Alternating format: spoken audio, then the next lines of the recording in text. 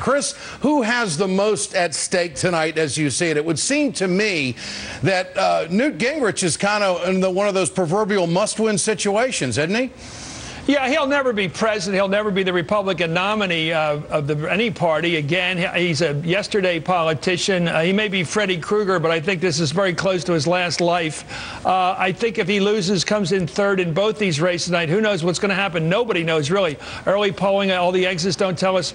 We don't have the information anywhere in America right now who's going to win tonight and among all the experts. So my question is, and it's your answer rather, I think he has the chance to be eliminated. And as I just said on my show, to join Buddy Roemer country. One of those candidates we don't waste our time talking about. So if he doesn't win tonight, Chris, either Mississippi or Alabama, it is definitely ego from here on out. Yeah, he has a strong cluster of states. He's won in the panhandle of Florida because of his racial commentary.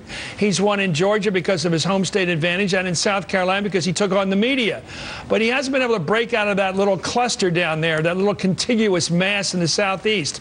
If he can't extend it to uh, Alabama, he can't get any further out of there. So my bet is if he can't get into Alabama, his best chance in the universe, he's got nowhere else to go. This is where Santorum is intellectually correct. This guy can't travel. Whereas Santorum, whatever you may think about him, whatever anybody watching our programs can think about him, he has the ability to do very well across the Midwest. I'm trying to figure out. What is his strength based on all across that heartland? I think it may be the business you've been in for a while, Ed, which is radio. I think he's been able to reach some people out there on the radio that explains this extraordinary reach for a guy with no money who is very far right on social issues. So we're looking to see why he's still in this race. But I think he's going to be in this race after tonight. He can win next week in Illinois with, uh, with good old Cardinal George George out there, even to the right of yeah. him. So you never know out there in terms of that Catholic population, the conservative Catholics who listen to the Cardinal out there. But it's going to be interesting to watch, whereas Newt is nothing worth watching anymore.